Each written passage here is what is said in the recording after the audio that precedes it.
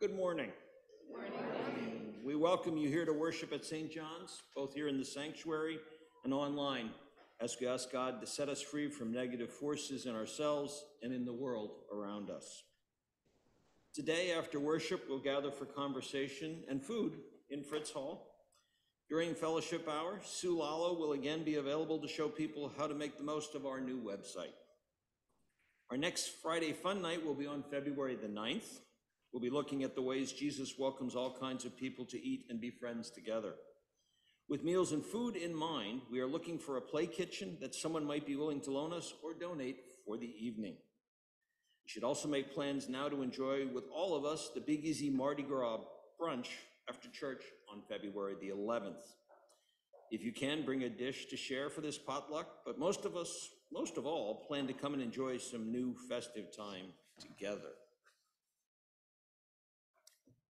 It is with sadness, but with faith and hope in the resurrection that we share the news that our sister Shirley Grishot passed away this week. Her memorial service will take place this coming Friday at 11 a.m. here in the sanctuary with a luncheon and time to visit with the family following in Fritz Hall. We give thanks for Shirley's life and we pray for her to be welcomed into God's eternal embrace. Pray for her family and friends to feel God's comfort and peace. May the light of God's perpetual love shine upon her. And now, as we turn to our prelude music, please use the time of prayer to open yourselves more fully to God's presence in your life.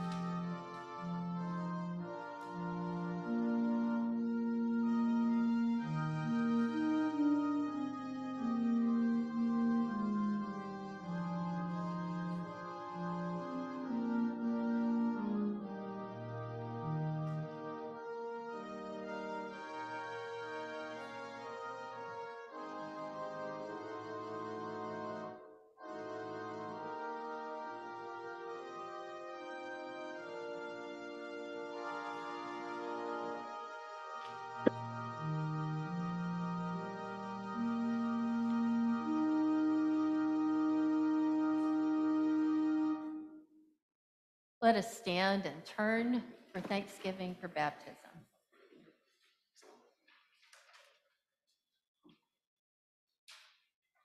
Blessed be the Holy Trinity, one God, the fountain of living water, the rock who gave us birth, our light and our salvation.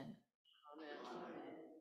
Joined to Christ in the waters of baptism, we are clothed with God's mercy and forgiveness. Let us give thanks for the gift of baptism.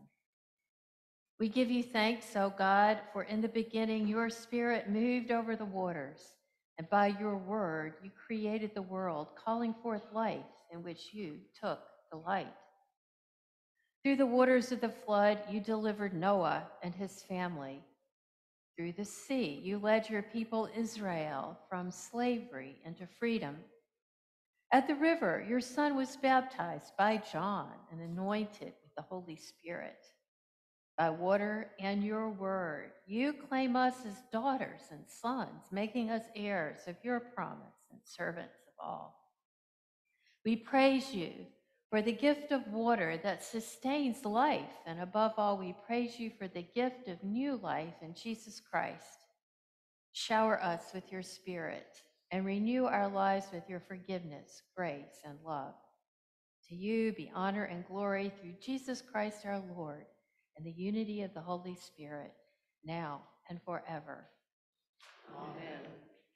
As beloved children of God who share together in the gift of baptism, let us greet one another in the peace of Christ. First, we'll greet those of us who are worshiping with us by Zoom and YouTube, and then everyone here in the sanctuary. Peace. We turn now to sing our gathering hymn, Fourth Faith Begins by Letting Go.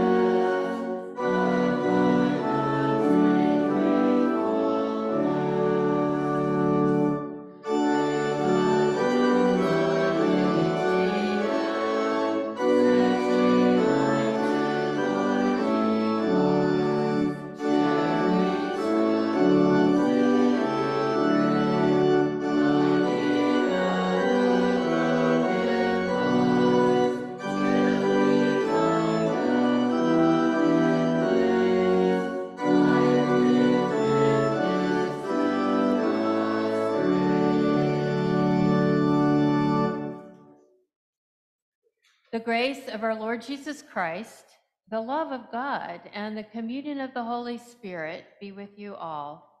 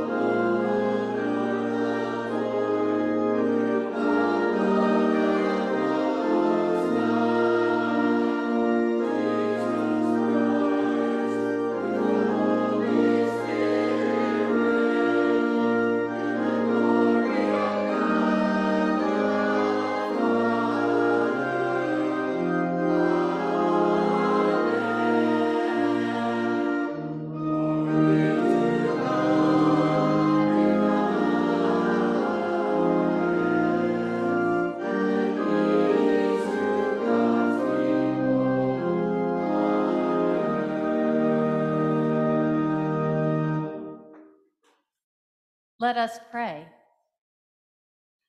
Compassionate God, you gather the whole universe into your radiant presence and continually reveal your Son as our Savior.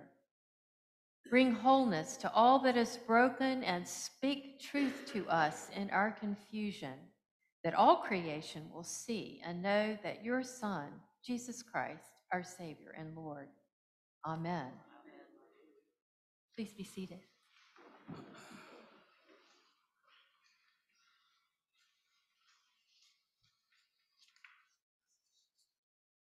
The first reading this morning is from the 18th chapter of Deuteronomy. Moses said, The Lord your God will raise up for you a prophet like me from among your own people. You shall heed such a prophet. This is what you requested of the Lord your God at Horeb on the day of the assembly, when you said, If I hear the voice of the Lord my God anymore, or ever again see this great fire, I will die. Then the Lord replied to me, They are right in what they have said. I will raise up for them a prophet like you from among their own people. I will put my words in the mouth of the prophet, who shall speak to them everything that I command. Anyone who does not heed the words that the prophet shall speak in my name, I myself will hold accountable. But any prophet who speaks in the name of other gods, or who presumes to speak in my name a word that I have not commanded the prophet to speak, that prophet shall die. This is the word of the Lord. Thanks be to God.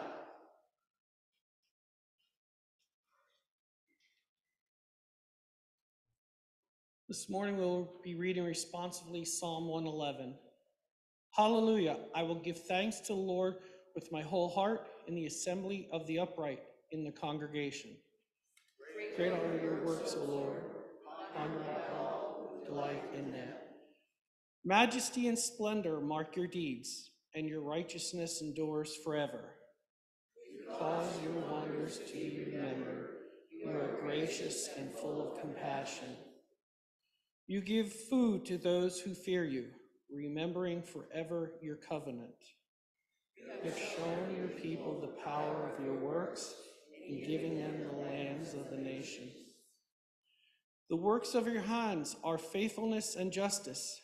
All of your precepts are sure. And be prospered forever and ever, because they are done in truth and equity. You sent redemption to your people and commanded your covenant forever. Holy and awesome is your name. The fear of the Lord is the beginning of wisdom. All who practice this safe understanding. God's praise endures forever.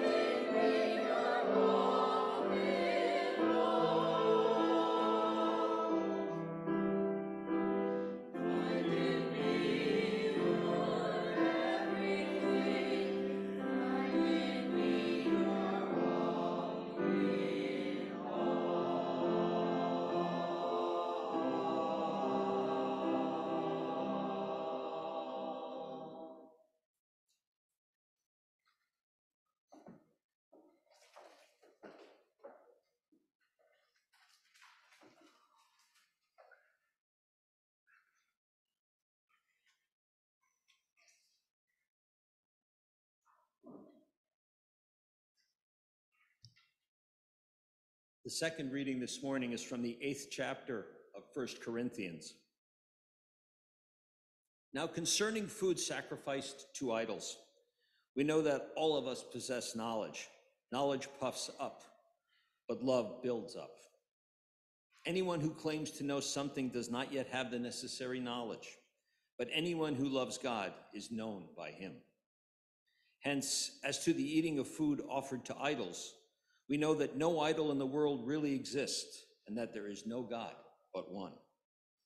Indeed, even though there are many so called gods in heaven or on earth, as in fact there are many gods and many lords, yet for us there is one God, the Father, from whom are all things and for whom we exist, and one Lord, Jesus Christ, through whom we are all things and through whom we exist. It is not everyone, however, who has this knowledge. Since some have become so accustomed to idols until now, they still think of the food they eat as food offered to an idol, and their conscious, conscience, being weak, is defiled. Food will not bring us close to God. We are no worse off if we do not eat, and no better off if we do. But take care that this liberty of yours does not somehow become a stumbling block to the weak. For if others see you who possess knowledge, eating in the temple of an idol, might they not, since their conscience is weak, be encouraged to the point of eating food sacrificed to idols? So by your knowledge, those weak believers for whom Christ has died are destroyed. But when you thus sin against members of your family and wound their conscience when it is weak, you sin against Christ. Therefore, if food is a cause of their fa- falling, I will never eat meat, so that I may not cause one of them to fall. This is the word of the Lord. Thanks be to God.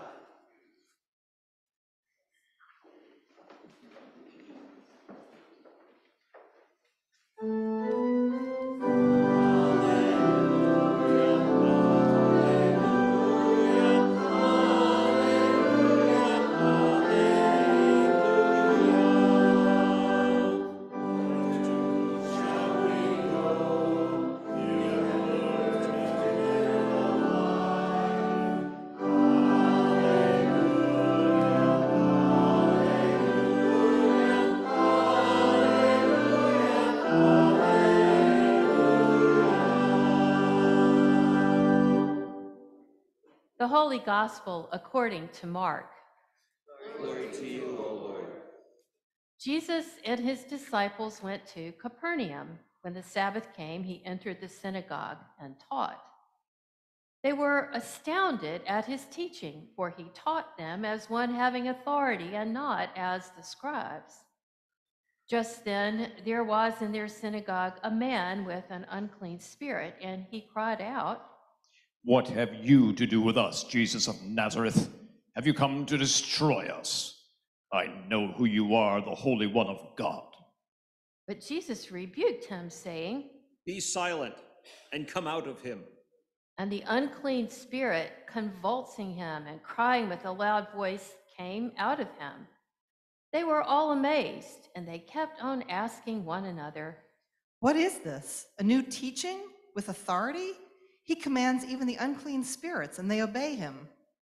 At once, his fame began to spread throughout the surrounding region of Galilee. The gospel of the Lord. Praise to you, O Christ.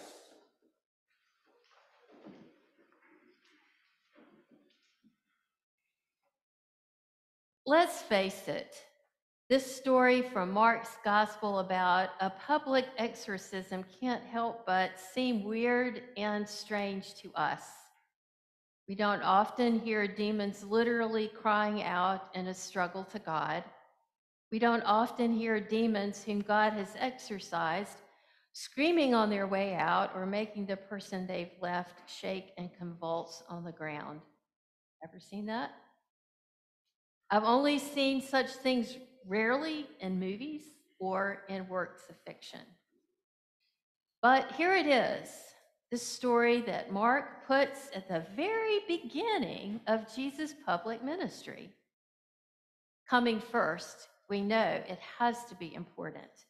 It has to offer us clues about who Jesus is and what he wants to do in the world.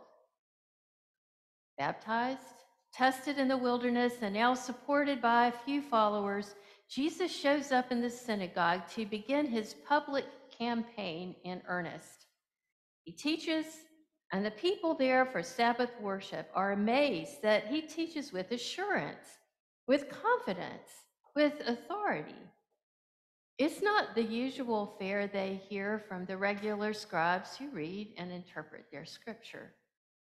It isn't the kind of teaching that leaves them feeling good that they've come and fulfilled their duty to God, but not quite sure what they're excited about or what they should do next.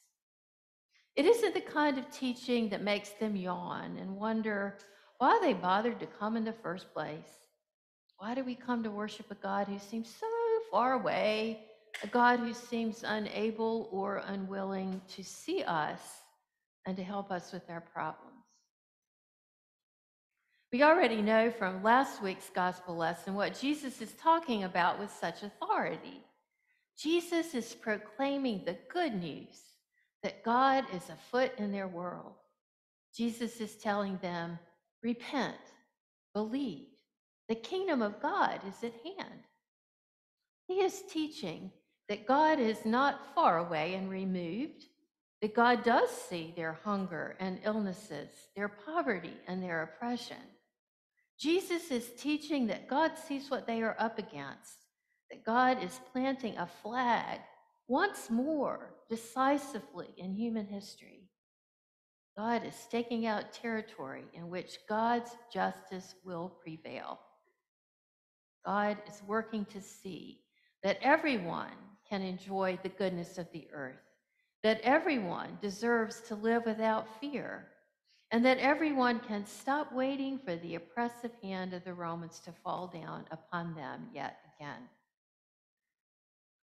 It is Jesus' clarity about the coming kingdom of God, about what God is doing in the world, that sets off the unclean spirit or the demon in the story. Jesus' teaching challenges the demon's greed and selfishness. Jesus' teaching challenges the Roman demon of disregard and violence toward Palestinian peasants whom they oppress. Jesus' teaching challenges the demons of despair that keep those peasants hopeless and inactive. No wonder the demon is worried. And so in the story, the demon cries out and challenges Jesus, kind of goes on the offense. Just what right, Jesus, do you have to challenge us? Have you come to get rid of us, to destroy us? Well, if you have, think twice before you try, because we know who you are. And if we reveal your true identity and purpose, then you'll be in trouble with the powerful people of the world. If they know your name, if they know your address, they'll come hunting for you. If they know your name, if they know your address, they will come to beat and destroy you. So let me shout your name out. You are the Holy One of God. Kind of dramatic, huh? But Jesus does not cower when he hears the demon's threat. Jesus does not retreat in order to preserve himself. Instead, drawing upon his authority as the beloved Son who pleases God, drawing upon his authority as one who understands God's will for the world, Jesus tells the demon to be silent. Jesus tells the demon to come out, to give up, to leave alone the human being he has been afflicting. This silencing and calling out, this power Jesus demonstrates to tie up and bind the demons that afflict humanity is just a taste of what is to come later in his ministry. In Mark's gospel, Jesus will cast out more demons. He will even send his disciples to proclaim the kingdom of God and to cast out demons themselves. Can you imagine that? Having God's power behind you, power to cast out demons in God's name? So, what do we do with this strange, otherworldly story As I said, it's not like we literally see demons getting up to shout, rage, and rant at Jesus. Though do we do see people do that in public? It's not like we literally see the power of God exorcising them as they leave the people they have possessed behind, trembling in both terror and relief. But just because we haven't seen an exorcism with shouting and convulsing, that doesn't mean demons no longer exist in this world and that we still aren't bound by them. We can name our own personal demons like addiction, anxiety, self hatred, selfishness, and dishonesty, insisting on our own way, being unwilling to change. Let's take a few moments in silence to face and name the personal demons who wish to possess us and the people we love. Take just a minute to think about your personal demons.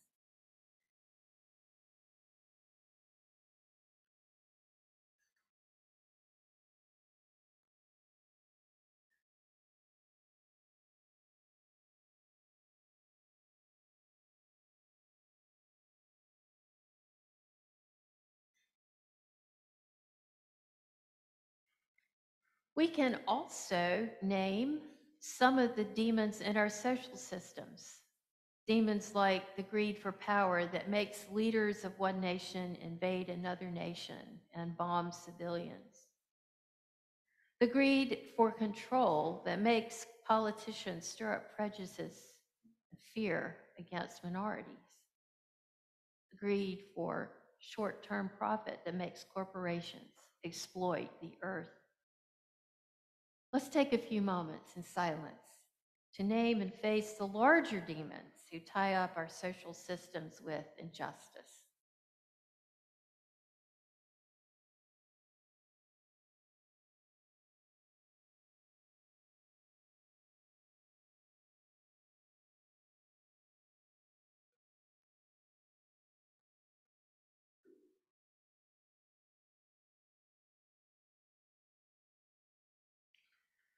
Mark places this strange story at the beginning of Jesus' public ministry because he wants us to know there's good news we can be excited about too. Jesus doesn't teach a ho hum, mamby pamby, play it safe kind of teacher. He teaches like a visionary, full of hope that the time for demons and evil in this world is short. Your time is short because God's rule, God's kingdom is spreading, God's power is gaining strength. The people in the synagogue, are we today have any doubts? Jesus' power and ability to drive out demons serves as evidence that the kingdom of God is indeed coming. It is indeed gaining strength in the world. Mark's good news about the coming kingdom of God offers us assurance Jesus is here even today. He is here to help us cast out our own demons, to silence them, to bind them up, to set us free.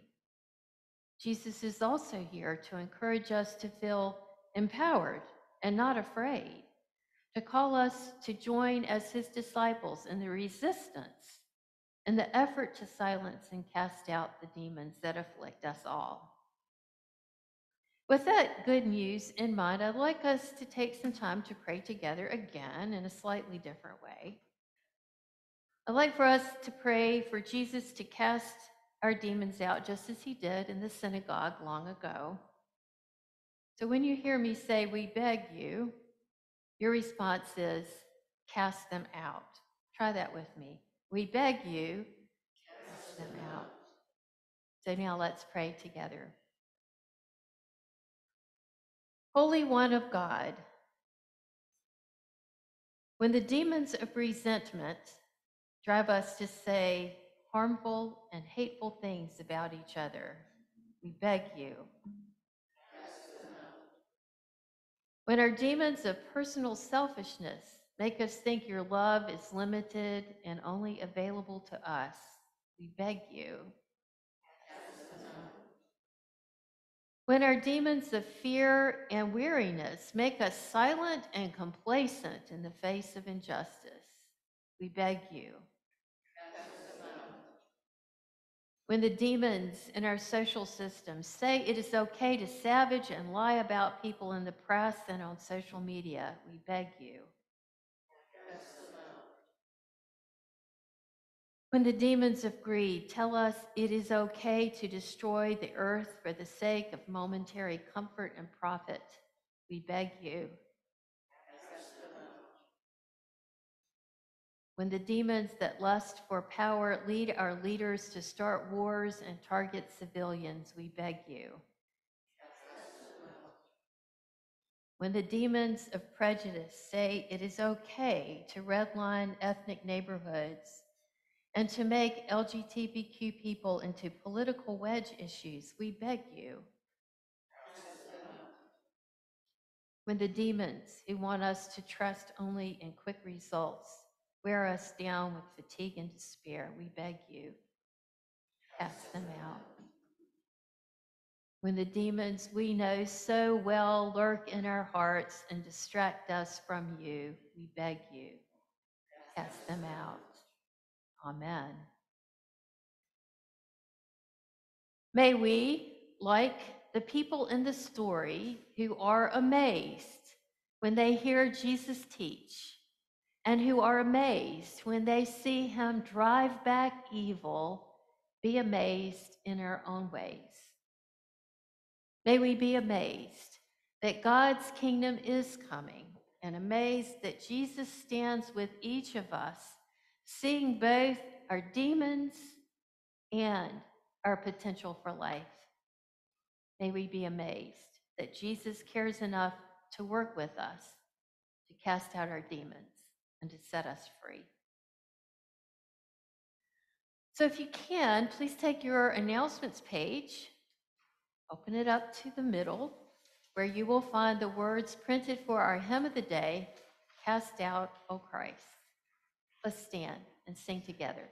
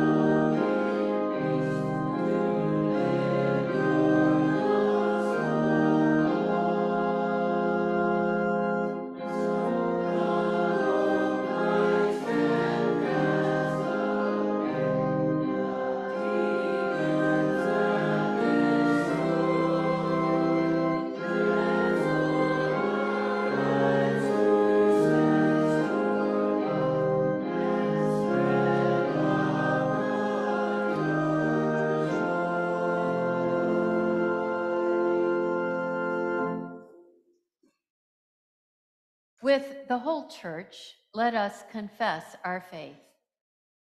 I believe in God, the Father Almighty, creator of heaven and earth.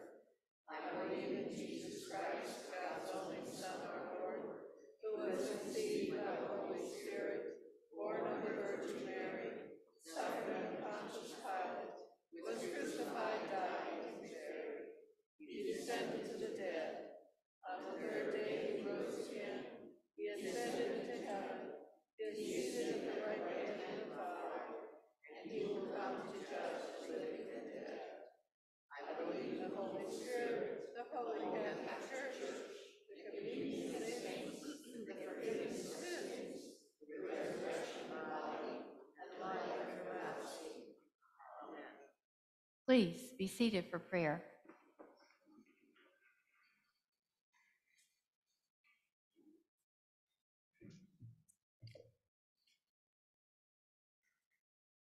This week in prayers, please remember Tim and Maggie, Paul, Dylan, Christopher, Candace, Shirley, Lynn, Mark, Janine, Jen, Carol, Donald, Beth, Charlene, Pat and Connie, Lucille and Butch,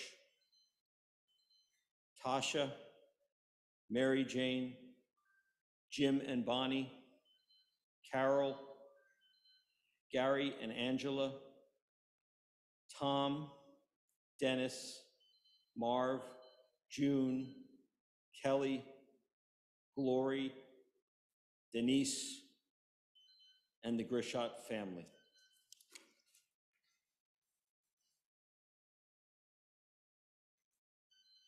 As we celebrate Christ embodied in human form, we pray for God's blessing on the church, the world, and all of creation. Loving God, we pray that your example of teaching with confidence and authority builds up your church in love. May all church leaders and teachers honor your instruction and model your inclusive ways. God of grace, receive our prayer. Renewing God, we pray for all of creation, that waterways flow clean and clear, natural spaces are protected, and our planet is healed. Let us commit to thoughtful care of the earth. God of grace, receive our prayer. Justice seeking God, we pray for those in government and community leadership, that they may lead with honor and mindfulness. May they remember their covenants and be upright in their ways. God of grace, receive our prayer. Compassionate God, we pray for all in need, especially those who have known rejection, any who struggle with long-term illness or chronic pain, and those without access to safe housing or health care, and any others who suffer. God of grace, receive our prayer. Still speaking, God, we pray for our congregation, for its artists and musicians, for its educators and caregivers, that all gifts are used to care for those in need and to live out your example of accompaniment, gospel witness, and love.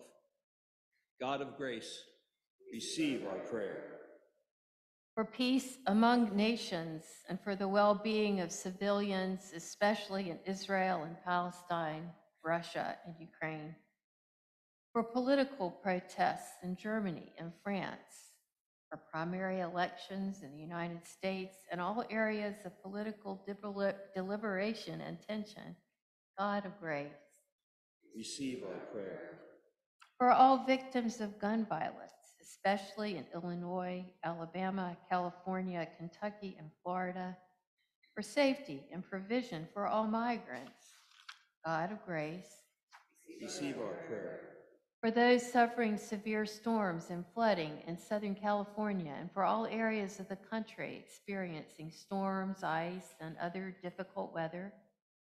For all facing unemployment and underemployment, and for all seeking fair wages and equitable employment opportunities, God of grace. Receive our prayer. Eternal God, We remember all who have been teachers, mentors, and companions in the church and in our lives. We trust that all who have died rest in your loving care. God of grace. Receive our prayer. Knowing the Holy Spirit intercedes for us, we offer these prayers and the silent prayers of our hearts in the name of our Savior, Jesus Christ. Amen.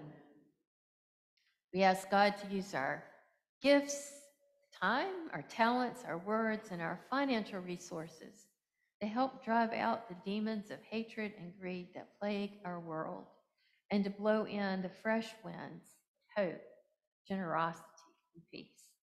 Let us bring our gifts to God as we stand and sing hymn 467, We Place Upon Your Table, Lord.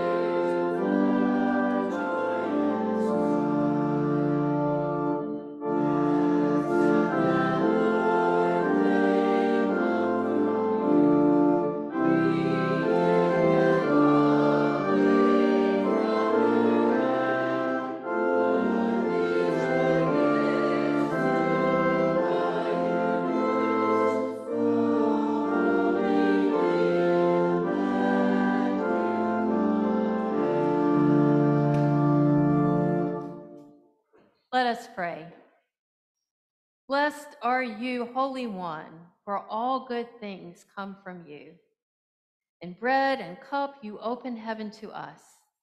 Meet us at this table, that we receive what we seek and follow your Son, Jesus, in whose name we pray. Amen. The Lord be with you. And also with you. Lift up your hearts. Let us give thanks to the Lord our God. It is right to give our thanks and praise. It is indeed right, our duty and our joy, that we should at all times and in all places give thanks and praise to you, Almighty and merciful God, through our Savior, Jesus Christ. By the leading of the star, he was shown forth to all nations. In the waters of Jordan, you proclaimed him your beloved Son. And in the miracle of water turned to wine, he revealed your glory. And so, with all the choirs of angels, with the church on earth and the hosts of heaven, we praise your name and join their unending hymn.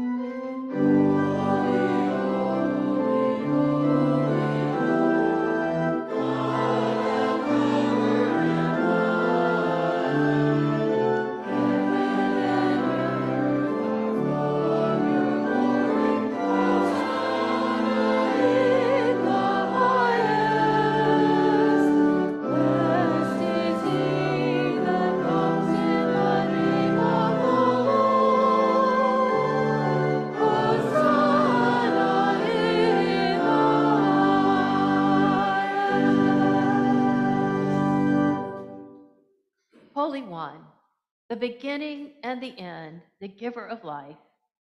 Blessed are you for the birth of creation. Blessed are you in the darkness and in the light. Blessed are you for your promise to your people. Blessed are you in the prophet's hopes and dreams. Blessed are you for Mary's openness to your will. Blessed are you for your son Jesus, the Word made flesh. In the night in which he was betrayed, our Lord Jesus took bread, gave thanks, broke it, and gave it to his disciples, saying, Take and eat. This is my body given for you. Do this for the remembrance of me. Again, after supper, he took the cup, gave thanks, and gave it for all to drink, saying, This cup is the new covenant in my blood, shed for you and for all people for the forgiveness of sin. Do this for the remembrance of me. Let us proclaim the mystery of faith. Christ has died, Christ is risen, Christ will come again. With this bread and cup, we remember your word dwelling among us, full of grace and truth. We remember our new birth and his death and resurrection. We look with hope for his coming. Come, Lord Jesus. Holy God, we long for your spirit. Come among us. Bless this meal. May your word take flesh in us. Awaken your people. Fill us with your light. Bring the gift of peace on earth. Come, Holy Spirit. All praise and glory are yours, Holy One of Israel, Word of God incarnate, power of the Most High, one God, now and forever. Amen. Lord, remember us in your kingdom and teach us to pray. Our Father in heaven, hallowed be your name. Your kingdom come, your will be done on earth as in heaven. Give us today our daily bread. Forgive us our sins as we forgive those who sin against us. Save us from the time of trial and deliver us from evil. For the kingdom, the power, and the glory are yours, now and forever. Amen. At Jesus' table, heaven and earth are joined as one. Come and see.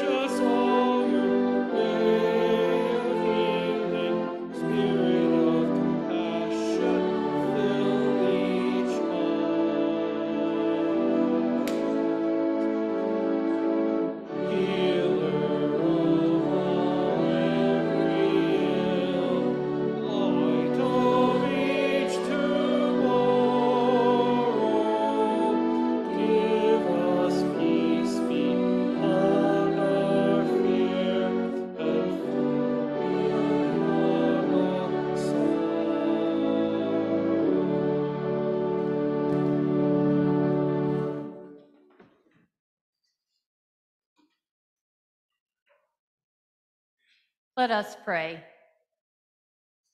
Giver of every gift, Christ's body is our food, and we are Christ's body. Raise us to life by your power for the benefit of all and to your glory now and forever. Amen.